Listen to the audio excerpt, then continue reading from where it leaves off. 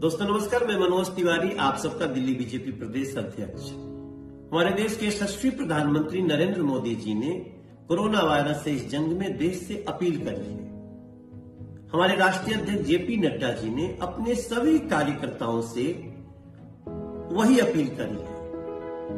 और मैं अपने दिल्ली के सभी कार्यकर्ता पदाधिकारियों से वही अपील कर रहा हूँ कि आप सब कोरोना वायरस से इस जंग में थोड़ा योगदान करें।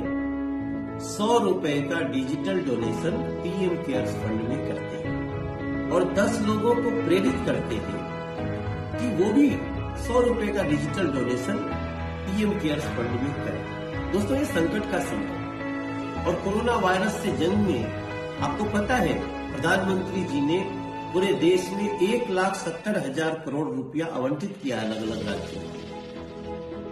लोगों को राशन पहुंचाना है, लोगों को दवाइयाँ पहुंचानी है। तमाम हेल्प कैसे होगा? हमारे आपके खड़े होने से हो दोस्तों, आइए हम सभी इस योगदान में लग जाते हैं ताकि कोरोना वायरस हारे और भारत जीते। जय हिंद।